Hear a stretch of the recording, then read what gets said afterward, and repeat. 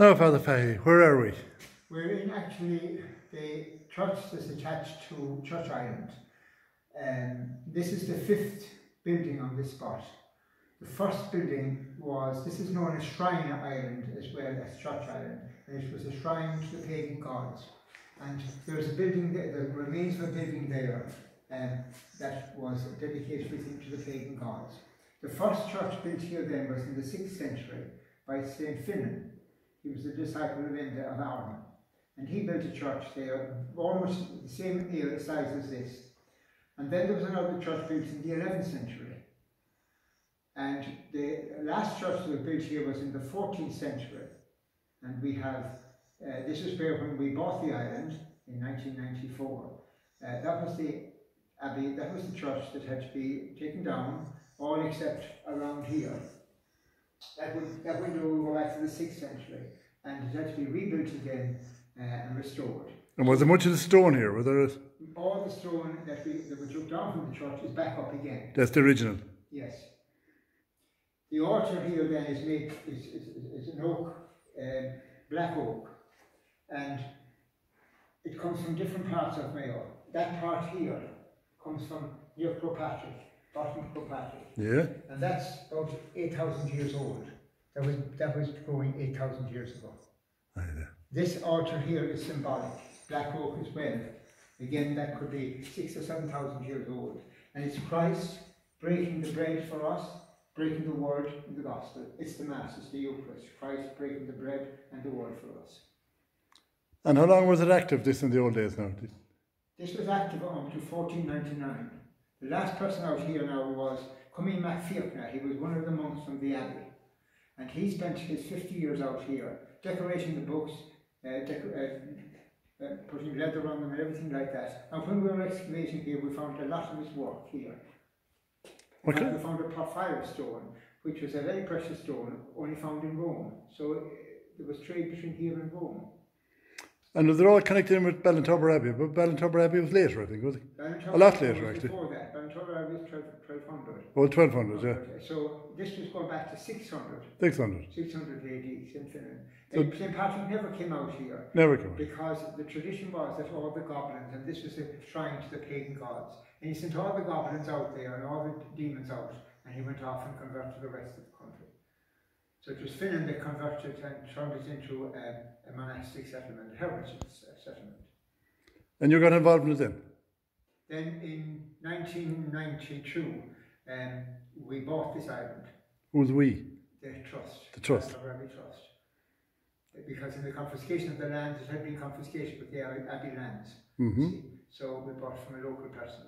And uh, it's, it's very rich in archaeological, it's full of, full of archaeological gems and everything like that. But we haven't excavated it because I was going to say that the archaeologists haven't been out here yet, no, have they? don't know, we don't. We just deny them the. Do you think it'll be done sometime? Probably sometime, yes. But we have, you see, with archaeology now, they can discover a lot of things without ever digging up. No digging, yeah. so we hope that that's what they do with it. You never got a metal detector out here, no? No, we're not allowed to.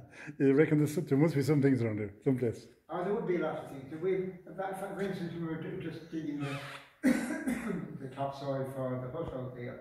We came across uh, um, an, an axe, uh, um, a liturgical axe, and that would with that the, the, the thing would be found in Antrim. The uh, stone would be found in Antrim. So there was a link between here and Antrim even at that time.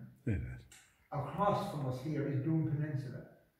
Now that's thir- that has 26 megalithic mon- monuments. 26. 26. And that's where the hunter gatherers, the first inhabitants of Ireland, they would have been on that lake, Lough Carra. Mm. So this is Lough Carra. This is Lough Carra. There's a load of historical monuments around this island, isn't there? Yeah. Apart from that, like castles and tower houses and Yeah, yes, there are. amazing. It's, it's, it's an amazing, rich cultural, and also herbs and fauna. Uh, it, the, the karst limestone Mhm. is, is so rich with, it's, it's just equal to, to, to Clare. We have down in Clare.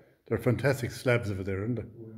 Yeah, looking at them coming in on the beach, it's on the shore, it's full of them. Yeah. So you love this place? Yeah. You love Ballintubber? Yes. How did you get involved in all this stuff anyway? Well, I did archaeology for my degree. Well, that was a help. And being a clergyman as well, another help. Yeah. You have to put it all together, yeah. Yes. Where are you from originally? Ballygones. Oh, you're a Mayo man as well. Yeah. True blue. So there's some uh, uh, children buried outside here, or was there? Yes. There's only one burial inside, and that was there. One And that down here. been of the hermits, um, because uh, there was no, there would be no lay burial within the church. But the others were buried right around. And in fact, it was a very poignant burial. On the table outside, there was a burial of a woman, skeleton of a woman, and each side she had two children. Oh, But there was also lying across her, sitting was a, a, a, a skeleton of a man. So the story would probably be that he brought in the in famine times, he brought in the woman, she was dead, with the two children, then sat down and waited for death. waited for death. They done that. Done that in a lot of Irish cottages, didn't they? Yes. They sat in the corner and waited for death Waited for death. because they had no choice. Yeah, and they wanted to be as near the church as possible. Well, that was near. Yeah. So what have we here then? the common grave of the the remains of the of uh, 15 juveniles and four adults. that were Nineteen Found just in the excavation down there, just in the, in the excavation, there. in the excavations down there, just around the, uh, the. One was inside. And where did they think they came from?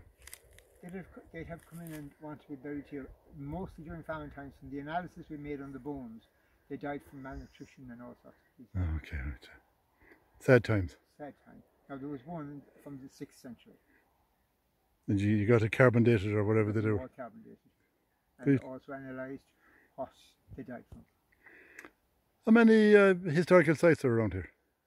Many are you involved in that? Around the lake, Yeah, around the lake. And you have Ballintubber Abbey and you have here. Here, And the furrow. Have you the furrow? Furrow, yeah. What's the furrow? Furrow tells our whole journey from Neolithic times down to the present age uh, in our cultural journey, our cultural journey and, and quest, if like. And these places are all open to the public, are they? Yeah, yeah. Good.